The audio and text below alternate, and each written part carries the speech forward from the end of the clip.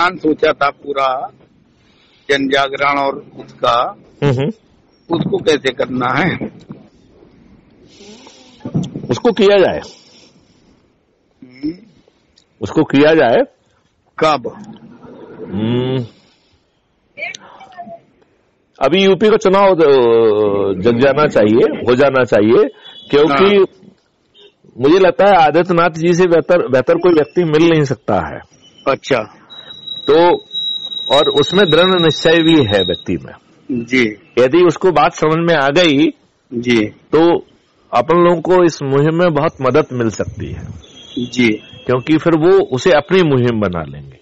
अच्छा। और यही अपनी सफलता भी होगी।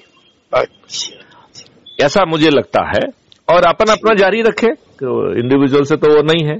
यदि जो। भी होता है अपन को जो है ना उसमें करना। लेकिन मुझे लगता है कि अपन को अभी चुनाव तक जो है ना केवल डिजिटल प्लेटफॉर्म पे ही एक्टिव रहना चाहिए। हाइपोथेटिक क्वेश्चन मैं पूछ रहा हूँ आपसे उसका आंसर कर दीजिए। अगर योगी आदित्यनाथ ने आपका साथ नहीं दिया तो क्या करोगे? ये तो हमारा संघर्ष है हम जारी रखेंगे। फिर आप दूसरे के कंधे पे रख के बंदूक क्यों चलाना चाहते हैं? नहीं चलाना चाहते। मुझे लग रहा है कि इस समय जो है अपन जो है जो सुन लीजिए, जो अपना संवाद है उसे अपन जारी रखें। सर सर मेरी बात का जवाब दीजिए सर। हम्म, डीजीपी मैथिली शरण गुप्ता साहब। हम्म, हम्म, वो भी अगर योगी आदित्यनाथ जैसों का हम्म, हम्म। साथ चाह के कोई अभियान चलाना है तो फिर इसमें डीजीपी साहब की क्या व्यक्तित्व और कर्तृत्व होगा? इसका जवाब दे दीजिए। नहीं मैं आपकी बात से सहमत हूँ।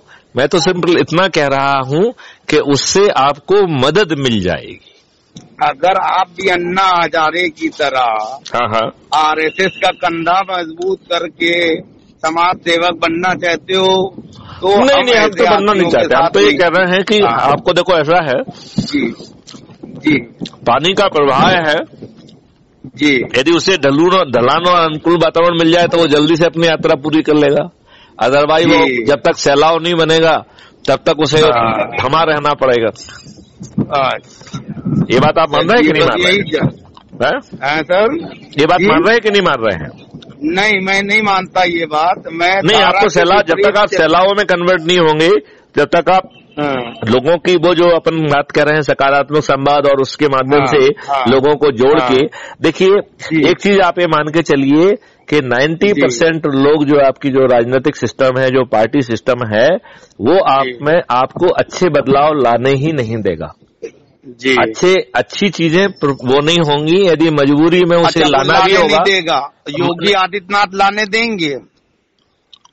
योगी आदित्यनाथ लाने देंगे मुझे मुझे ऐसा कुछ इंटीट्यूव लगता है कि वो व्यक्ति को यदि बात जमेगी अच्छा। तो वो वो मदद कर सकता है। अच्छा। ऐसा मुझे इंटीट्यूवली लगता है। मैं तो मैं तो यूपी का रहने वाला नहीं हूँ।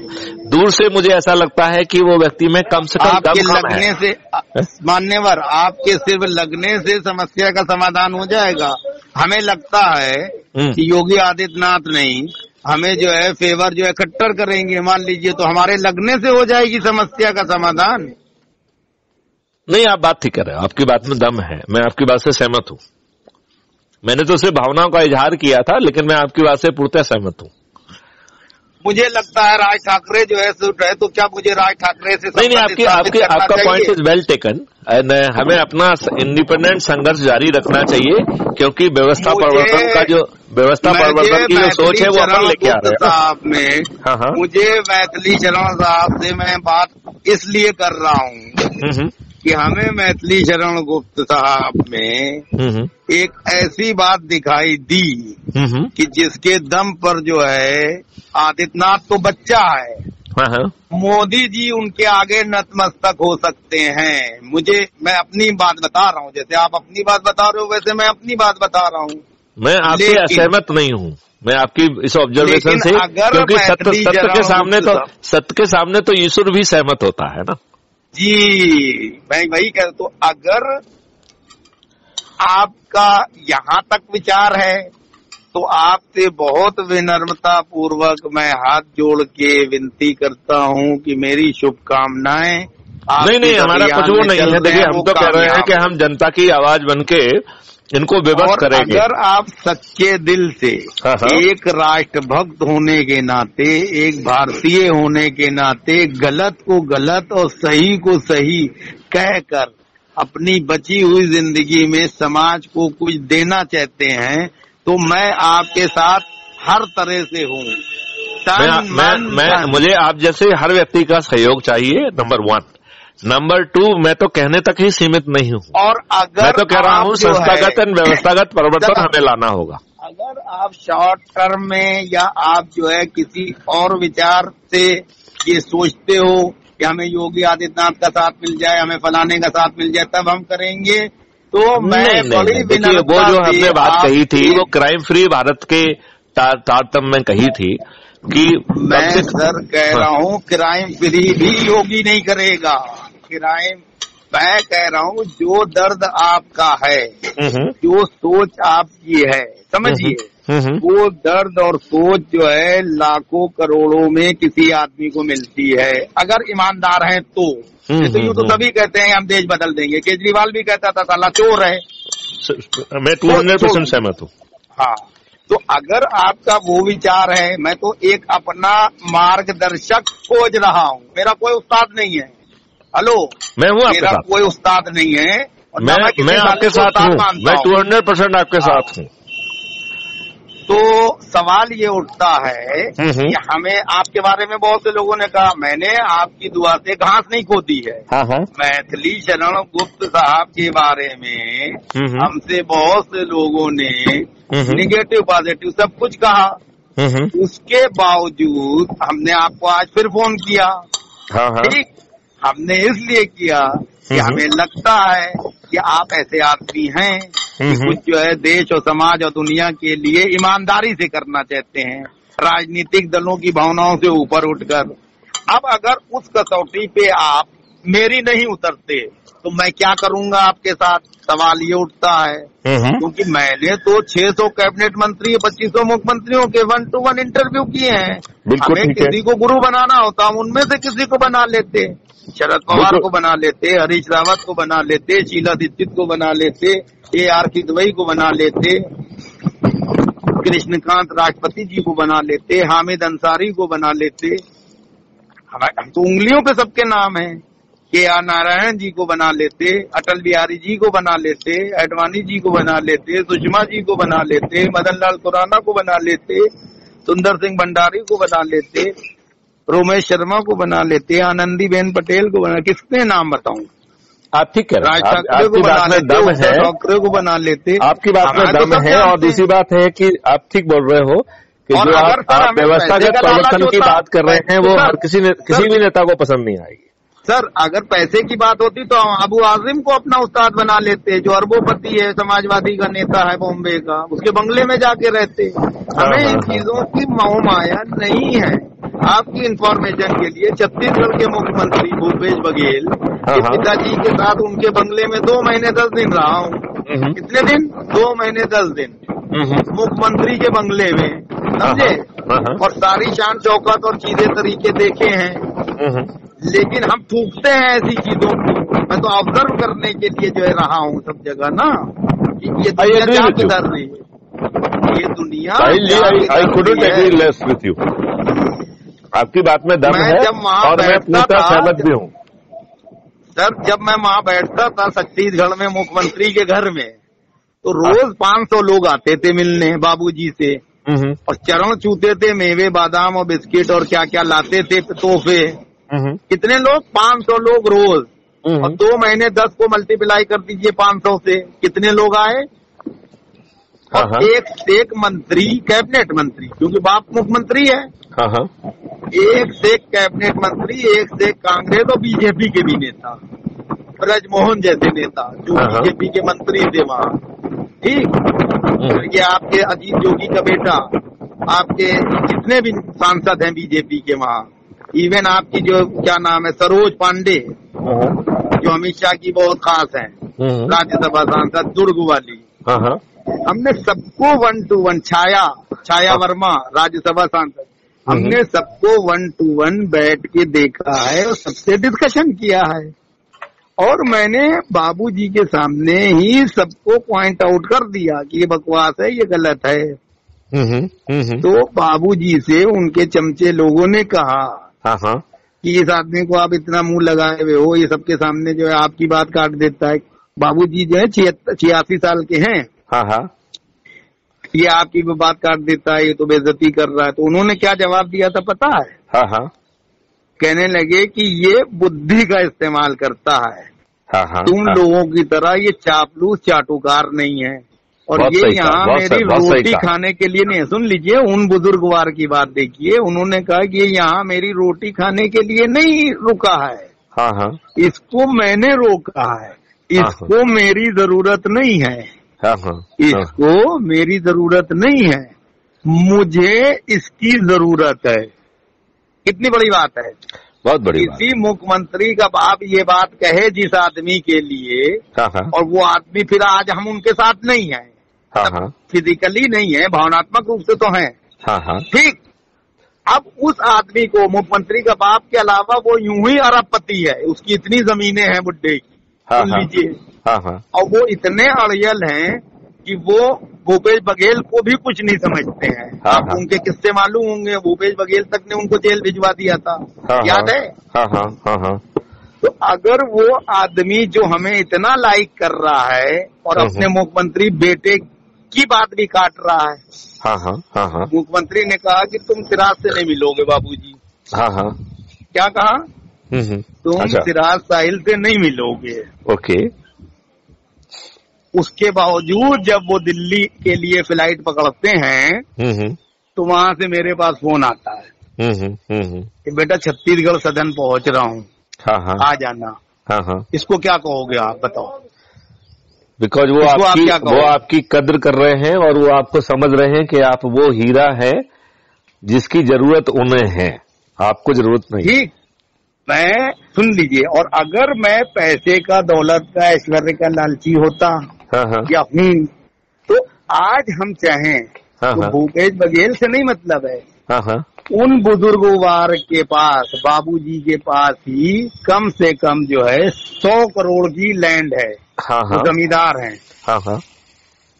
जो सा टुकड़ा कह देंगे छत्तीसगढ़ राज्य में हाँ हाँ। इसको मेरे नाम से काट दो यहाँ मैं बिल्डिंग बना रहा हूँ हाँ। और अपना मीडिया ग्रुप चलाऊँगा। हाँ हाँ। वो सा टुकड़ा जो है हाँ हाँ। ठीक है? हाँ हाँ हाँ हाँ हाँ अब हाँ हम क्यों नहीं कहते हैं? ये भी सुन लीजिए। हाँ हाँ। हम क्यों नहीं कहते हैं? हाँ हाँ। ये मैं कहूँगा हाँ हाँ। तो जो दो महीने दस दिन हाँ, आपके भाई ने कैबिनेट मंत्रियों मंत्रियों बड़े बड़े करोड़पति इंडस्ट्रीज़ लोग जो आते थे पैर छूते हुए कि ये काम कराओ हम्म हम्म। उनको जलील किया हम्म। लतियाया हाँ हाँ। हनक दिखाई और कई बार बाबूजी की बात भी काट दी तरीके से। हाँ हाँ और फिर हाँ, रात में दो बजे जिस दिन उनको मैं ज़्यादा काट देता था बातें तो हाँ, दो हाँ। बजे रात में हमें उठाते थे। दो बजे उन्हीं के बंगले में रहते थे। दो बजे रात में उठाते थे। हाँ हाँ। और कहते थे कि अरे कुछ डिस्टर्ब तो नहीं किया। हाँ हाँ। बेटा आओ बैठते हैं। हाँ हाँ और हाँ। अपने खामसामा से कहते थे बढ़िया स्ट्रांग कॉफ़ी बना हाँ हाँ हाँ हाँ। और दो बजे से लेके सवेरे हाँ। छह बजे तक हाँ हाँ। वार्ता होती थी। और जो जो हमने पॉइंट उठाते थे हम्म हम्म हम्म। उन पे कहते थे तुमने सही कहा था। तुमने ये भी सही कहा था। तुमने वो भी सही कहा था। और फिर फिर जो उनके चमचे थे खास हाँ हाँ। चार लोग उनका नाम लेते थे। हाँ। ये साहू जो है तुमसे बहुत जलता है। हाँ हाँ। ये विवेक जो है बहुत खुंदक खाता है। हाँ हाँ। वो फलाना ये करता है। वो कहता साहिल ये साहिल मुसलमान है साहिल गद्दार है साहिल ऐसे कर देगा साहिल आरएसएस का आदमी है हाँ। तुम्हारे भेद ले रहा है। मुख्यमंत्री की कुर्सी चली जाएगी। हाँ, हाँ। ये वो बताते थे। समझ रहे हैं? तो हाँ। मैं षडयंत्र भी जानता हूँ। हाँ, कि हाँ। अच्छे आदमी को लोग टिकने नहीं देते हैं क्योंकि उनके हित नहीं सदरे होते हैं उसके रहते हुए हाँ हाँ हाँ हाँ एम आई राइट ठीक कह रहा है तो वो दो बजे रात से सुबह तक हमसे ये बताते थे इसका मतलब वो हमारा हौसला बढ़ाते थे कि हाँ। तुम जो कर रहे हो वो सही दिशा में चल रहे हो बिल्कुल हमारी आलोचना कर रहे हो तो भी सही है क्योंकि। तुम राष्ट्रहित जनहित और मानवता के हित की बात करते हो अब इससे बड़ा उदाहरण आज के बाद मैं आपको नहीं दे सकता। नहीं आपके आपकी बात बहुत अच्छी है बल्कि मैं ये भी कहूँगा कि चूँकि बैकेंड इंजन हर कुछ रिकॉर्ड करता है तो ये आपकी आज अभी जो बात हुई है बहुत अच्छी बात है। मैं चाहूँगा कि लोग जो है इसे सुने। हम्म। तो आपको इसमें कोई आपत्ति तो नहीं है? मुझे कोई आपत्ति नहीं है इसमें मैंने कौन सी गलत बात कही है? नहीं नहीं देखिए मेरा ये कहना है कि देखिए इसमें बहुत अच्छी बातें कही गई हैं। और दोनों पक्ष की मतलब जो आपने मुझसे भी क्वेश्चन किए वो आपके बहुत जुनून क्वेश्चन थे जो आपने अपने बारे में बताया वो भी आपने बहुत अच्छा बना बताया है। हम्म। तो ये एक जनता के लिए एक बहुत अच्छी वार्तालाप हो सकती है मुझे लगता है। मैंने इतनी बड़ी बात आपको कही और मैंने कोई आपत्तिजनक शब्दों का इस्तेमाल नहीं किया। हाँ बिल्कुल सही यही कहा हाँ। वो बाबूजी इतना मानते थे और आज और ये भूपेश बघेल ने कहा है फिर कह रहा हूँ मैं। हाँ हाँ। और सुनिए भूपेश बघेल ये भी रिकॉर्ड कर लीजिए भूपेश बघेल मुख्यमंत्री हैं। हाँ हाँ हाँ उसके हाँ। बावजूद हाँ। उनको जो है इतनी शिष्टाचार और शर्म हाँ रखनी चाहिए हाँ जो आदमी को हम्म, हम्म, उनके पिताश्री हम्म, हम्म, जिन्होंने उनको पैदा किया दो महीने दस दिन अपने घर में इज़्ज़त से रखे हाँ। उस आदमी से वो दो मिनट मिलने की भी फुर्सत नहीं निकाल पाए। हाँ हाँ। और बाबूजी हमें लेके भी गए दस बार। हाँ हाँ। दसों बार उन्होंने बहाना बना दिया कोरोना का। हाँ हाँ हाँ तब की कई बार बाबूजी नाराज़ भी हुए। आई समझ में? तो हाँ, हाँ। जब एक राज्य का मुख्यमंत्री हाँ हाँ। इतना संवेदनशील हाँ हाँ। इतना दहशत जदा हाँ हाँ। इतना आतंकित हो किसी एक ऐसे व्यक्ति से जिसको घर में रख रहा हो उनके पिताजी हाँ हाँ। तो उस मुख्यमंत्री की बुद्धि पे तरस आता है। ये शब्द सुनाइएगा लोगों को। आप ठीक कह रहे हैं उस बुद्धि की उस नेता की बुद्धि पे तरस आता है। अब आप दूसरी सुनिए। हाँ हाँ। उन्होंने मैं से कहा अब हाँ, ये। भी चलाइएगा टेप में नंद कुमार बघेल साहब ने कि तुम जो यूपी में लल्लू से बात करो अजय सिंह लल्लू जो प्रदेश अध्यक्ष हाँ। और जो कुर्मी समाज के लोग हैं उनको वो टिकट दें इस इस तरह से ये प्लानिंग करो हाँ। और तुम उनसे मिलो। हाँ, अब हाँ। लल्लू का नाम जैसा है वो वैसे ही है। हाँ। एकदम ही लल्लू है। उससे मेरी छह बार बात हुई सुन लीजिए। हाँ हाँ। अब बहुत इंपॉर्टेंट चीज़ है ये इंटरेस्टिंग है। हाँ हाँ। छह बार उससे बात हुई गधे से। गधा हाँ। शब्द कहूँगा। हाँ, हाँ। प्रदेश अध्यक्ष है वो कांग्रेस का। हाँ हाँ। उसको मैंने पूरी चीज़ बताई तो कह रहा है कि मैं प्रियंका गांधी के साथ दौरे पे जा रहा हूँ गाड़ी में हूँ उसका पीए कह रहा है। हाँ हाँ। और मैं बात करता हूँ। फिर उससे भी मेरी बात हुई। साहिल जी मैं कल बात करता हूँ। अबे गधे तू प्रदेश अध्यक्ष है। हाँ हाँ। तुझसे सिराज साहिल तो बहुत बड़ा पत्रकार है। कोई आम आदमी भी अगर बात करे और तुझे तेरी पार्टी के हित की बात बताए हाँ हाँ हाँ हाँ। उससे मिलने का तेरे पास टाइम नहीं है घंटा कांग्रेस रिवाइव करेगी। ठीक कर रहे हैं ठीक कह रहे हैं। घंटा करेगी रिवाइव हम्म, हम्म, हम्म, है? ठीक कांग्रेस घंटा रिवाइव करेगी। तू प्रियंका के पर्स उठा जूती उठा कांग्रेस बढ़ जाएगी इससे। ठीक बात है ठीक। और यही चीज़ नंद कुमार बघेल साहब के लिए है कि। मुख्यमंत्री के पिता मुख्यमंत्री को कोई सलाह देना चाहते हाँ। किसी इम्पोर्टेंट आदमी से मिलाना चाहते हैं। हम्म, हम्म, उन भूपेश बघेल साहब को टाइम नहीं है। हम्म, अब कितने दिन मुख्यमंत्री रहोगे तुम? रमन सिंह भी पंद्रह ही साल रहे थे। हाँ हाँ ज्योति बसु भी पच्चीस साल ही रहे थे। अमृत पी के नहीं आए वो भूपेश बघेल तुम? ठीक बात है ठीक बात है। ठीक है ना? बिल्कुल ठीक है बिल्कुल ठीक इसका मैंने दो उदाहरण दिए। एक तो कांग्रेस के मुख्यमंत्री का। हाँ हाँ। और एक कांग्रेस के दिल उत्तर प्रदेश के अध्यक्ष का। हाँ हाँ हाँ हाँ। मैटर तो मेरे पास कपिल सिब्बल से रिलेटेड भी है। हाँ हाँ देश के बहुत बड़े वकील है ना। मैं इसको भी चलाइएगा। मैं उनको मूर्ख मानता हूँ। कैसे मानता हूँ? हाँ। सुन लीजिए। हाँ हाँ। जब वो एमपी का चुनाव लड़े दिल्ली में हाँ हाँ। तो बुला के मिठाई खिला के रोज मिलते थे। हाँ हाँ। इंटरव्यू देते थे। हाँ हाँ। उसके बाद हाँ हाँ। मंत्री बने तो भी शहर मुलाकात होती थी। हाँ हाँ। दस साल वो कैबिनेट मंत्री रहे। हाँ हाँ। मैं कभी उनके पास कोई काम से गया नहीं कि मेरा। ये काम कर दो। हाँ हाँ। क्योंकि हमें तुम्हारी ज़रूरत ही नहीं मैं खुद सक्षम हूँ। हाँ हाँ। ठीक। हाँ हाँ। अब हम उनसे जो है कोई टॉपिक पे इंटरव्यू करना चाह रहे हैं कांग्रेस के विवाद को लेके। तो वो कह रहे हैं कि मैं अभी किसी को इंटरव्यू नहीं दे रहा हूँ। कोई बात नहीं। दस दिन के बाद उनका इंटरव्यू हमें कई जगह मिला। हाँ तो हाँ। मैंने फिर फ़ोन मिलाया। हाँ तो उन्होंने कहा कि नहीं साहिल भाई अभी मैं टाइम नहीं है जब टाइम होगा दे देंगे हमने। ठीक भाई वो बड़े। पत्रकार होंगे जिनको आपने इंटरव्यू दिया मैं छोटा हूँ। प्राथमिकताएँ तुम्हारी बदलती रहती है जब तुम तुम्हारा चुनाव लड़ रहे थे तो तुम हमें रोज इंटरव्यू देते थे। रोज बुलाते थे। चलो छोड़ो वो तो हम समझते ही नेतागिरी में लोग कैसे होते हाँ। तो हमने कहा चलो आप जो है सिब्बल साहब एक दिन दो दिन दस दिन पंद्रह दिन महीने भर की बात की डेट दे दो। हाँ हाँ। आप बहुत महान हो। हाँ हाँ। हम एक बहुत इम्पोर्टेंट इश्यू पे इंटरव्यू करना चाह रहे हैं। हाँ हाँ। वो जो ग्रुप ट्वेंटी थ्री बना था कांग्रेस में हाँ हाँ हाँ हाँ। पूरा उधम मचा था सोनिया के खिलाफ। उस हाँ, पे हाँ। करना चाह रहे थे हम कि भाई बड़े नेता हैं ये हाँ, हाँ। इनका कर लूँ। हाँ हाँ। हाँ हाँ। अब उन्होंने हमें टाइम नहीं दिया। ओके तो नहीं दिया तो कोई हम थोड़ी वो तो उनका विशेष अधिकार है आप हमसे बात कर रहे हो तभी तो हम आपसे बात कर रहे हैं आप कह दो कि सिराज साहिल फ़ोन काटो या मैं काट रहा हूँ तो मैं हाँ, दोबारा फ़ोन ही नहीं करूँगा आपको बिल्कुल ठीक बात बिल्कुल ठीक बात उन्होंने हमें टाइम नहीं दिया तो मैं ये चरित्र बता रहा हूँ कि तू हम्म। सुप्रीम कोर्ट में दहाड़ता है तू हम्म। इंडिया का बहुत बड़ा वकील है तू एक हम्म। पत्रकार के सवालों का जवाब जो है नहीं दे पा रहा है हम्म। जवाब तुझे सूझ नहीं रहे हैं ये हाँ। सवाल मेरे बहुत टेढ़े हैं हाँ हाँ कहे ऐसे देश चलेगा? भाई कैसे देश चलेगा?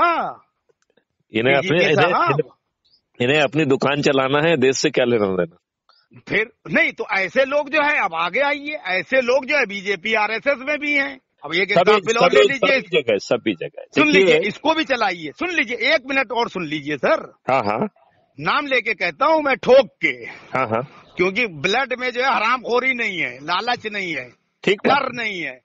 पत्रकारिता है निष्पक्ष और निर्भीक सुन लीजिए सर एक मिनट सिर्फ़ एक मिनट में दूँगा जवाब हाँ हाँ मिस्टर राम माधव हाँ हाँ आरएसएस के बहुत बड़े नेता हाँ हाँ उनसे मेरी वन टू वन बात हुई हाँ हाँ फ़ोन पे हुई हाँ हाँ बहुत अच्छे आदमी बहुत हाँ, हाँ। काबिल आदमी हाँ। उन्होंने बहुत रेस्पेक्टफुली वे में कहा हाँ हाँ कि साहिल जी मैं आपको इंटरव्यू ज़रूर दूँगा हाँ हाँ आप मेरी इसी नंबर पे आप कॉल कर लीजिए वो भी व्हाट्सएप कॉल कीजिएगा। हाँ, तो हाँ। मेरी जो है जो मैनेज करती हैं वो सब चीज़ें इंटरव्यू का टाइम वाइम हाँ, वो हाँ। आपको बता देंगे। ओके?